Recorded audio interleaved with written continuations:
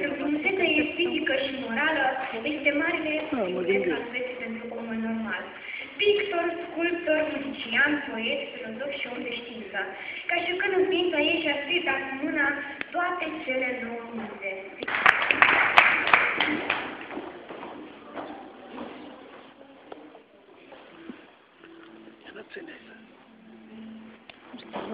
Ia